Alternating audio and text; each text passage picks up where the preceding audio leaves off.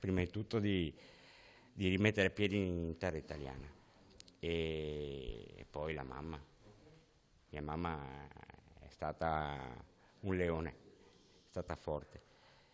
L'emozione era quella, io sapevo che tornavo, perché lo sentivo, però trovarmi, ripeto, trovarmi tutte queste persone che mi danno questi attestati di affetto, di, di, di, mi abbracciano, mi baciano, io provo, provando delle cose stupende che non avrei mai pensato di provare.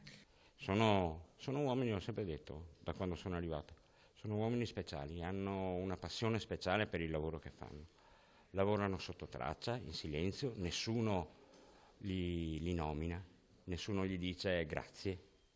Loro per noi eh, stanno svegli giorno e notte e ci cercano dappertutto, ci mettono l'anima e il cuore. Quindi io ho ritenuto giusto ringraziarli perché devo a loro, devo anche molto ai servizi libici, perché anche i libici eh, tramite il capitano Mikhail hanno lavorato molto molto per portarmi a casa.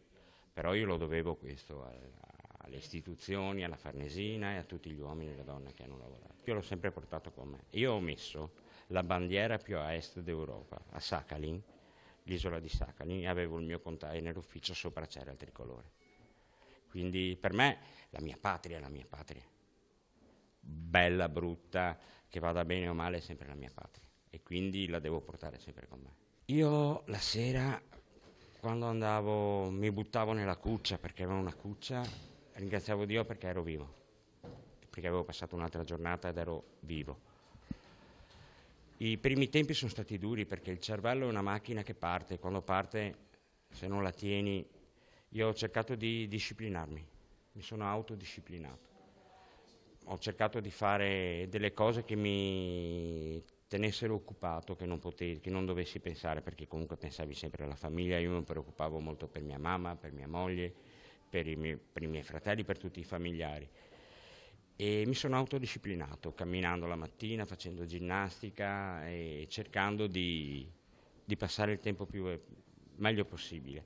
Certamente c'era sempre la paura perché quelli dall'altra parte della porta erano parecchio pericolosi anche il convivere con la paura di morire è stato un po' duro all'inizio, poi ho cominciato a metterlo da parte e ho cercato solo di rimanere lucido, non perdere le staffe. Mi ha emozionato, mi, mi, è venuto un groppo in gola, mi ha emozionato, non è un si, grande regalo. Questo, Io non mi aspettavo neanche di venire qui, Quindi, cioè no, proprio non l'avevo messo in conto.